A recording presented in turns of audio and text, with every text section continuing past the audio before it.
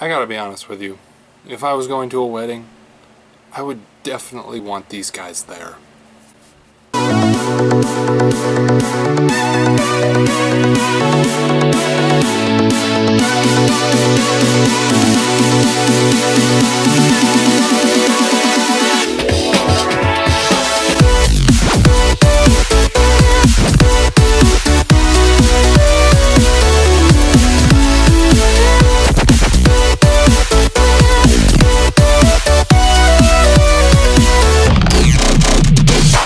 Alright guys, welcome back. I am Nighthawk, as you know, and today we are back with another movie review. Today we're reviewing a comedy instead of a horror movie. We're reviewing Mike and Dave Need Wedding Dates. Now, I think the hardest thing that you guys need to know is that reviewing a comedy is probably the hardest part of movie reviewing due to the fact that it's hard to review a comedy when you can't tell anyone the jokes, you don't want to spoil any jokes for them. So I'm going to give you the basics, and then I'm going to give you what I thought about it, because that's the easiest way for me to do it, so that's the way we're going to do it. So as Zac Efron and that dude from Modern Family who plays Andy, his name escapes me, I don't know.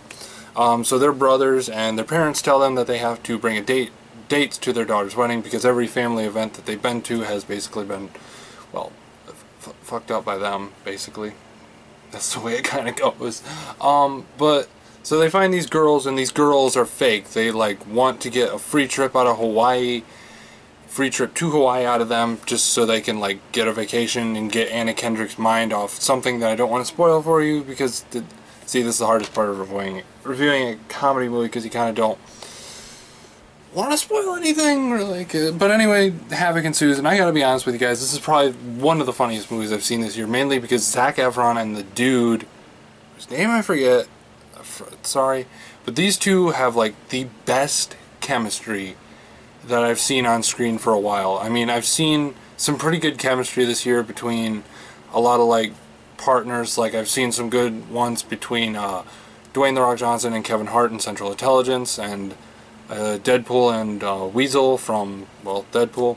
Um, but I'm going to be honest, this, they, these two did do a great job. They had great chemistry. They had great comedy together. There were a few parts of this movie where I was I was pretty much red in the face crying because it was so funny. I honestly walked into this movie thinking, okay, this is going to be the summer movie that I've been waiting for, and it's either going to be good or it's going to be bad, and that's the way it's going to be.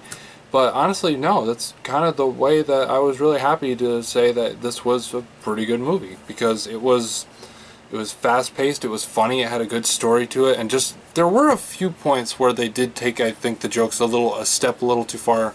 We were like laughing, you know, really hard at that point, and then they take it a little more, and you're kind of like, huh, uh, it's a little too far. Because honestly there were a few jokes I think that went over the edge in this movie but not too far over the edge so let's say okay that's not funny. That's just a little that's like funny but it's gone a little too far you know a little out of hand. Um, and I gotta give props to the girls in this movie because they did a lot of um, the comedy too. Uh, Aubrey Plaza and Anna Kendrick um, did a great job. They had great chemistry too. They felt like two stoner chicks who might as well have been sisters because they kind of did feel like sisters even though they're not. They're best friends. But honestly, I gotta say that Mike and Dave's Wedding Dates was a funny time with a good story. Some of the jokes did go a little overpaced, but I think that I can I can forget that honestly. But I am gonna have to say that Mike and Dave need wedding dates. You should definitely check it out. And I say I am gonna give it a definite seven point two. Let's go with seven point two because I honestly feel that it did deserve a pretty high ranking in the sevens. But yeah, so I want to hear what you thought about Mike and Dave Need Wedding Dates right down below. And if you like this movie review, go check out my other movie review. I only have one at this point. It's The Shallows. Go check that out. And if you like what you see here and you want to see more movie stuff and some other stuff coming around, stick around, guys, because there's more. Because I'm Nighthawk, and I will see you next time.